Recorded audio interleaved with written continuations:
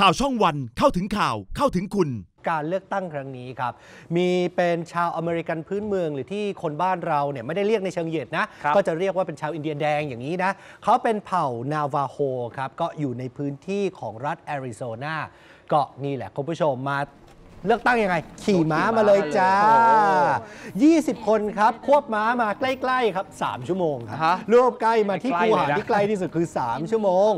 แล้วเนี่ยแหละคุณผู้ชมคือตอนแรกเนี่ยแทนที่เขาจะเลือกตั้งล่วงหน้าผ่านไปรษณีย์เขาบอกว่า คือเดี๋ยวจดหมายมันไปช้าเดี๋ยวมันดีเลย์กว่าจะผ่านไปรษณีย์ผ่านคน A คน B คน C เดี๋ยวไม่โดนซะดีควบม้าไปเลือกตั้งเลยครับ ที่อาริโซนาเนี่ยก็เป็นหนึ่งในสมรภูมิชี้ขาดผลการเลือกตั้ง เขาเลยรู้สึกว่าเอ้ยเขามีความจำเป็นนะที่ต้องออกมาใช้สิทธิ์ มีความจำเป็นที่ต้องออกมาโหวตออกมาใช้คะแนนเสียงการเลือกตั้ง ถึงแม้เสียงเดียวหลายๆ คนมองว่าเอ้ยเสียงเดียวเปลี่ยนแปลงอะไรไม่ได้ หารู้ไหมว่าจริง ๆ ทุก ๆ เสียงมันมีความสำคัญและมันมีความจำเป็นทั้งหมดทั้งมวลครับ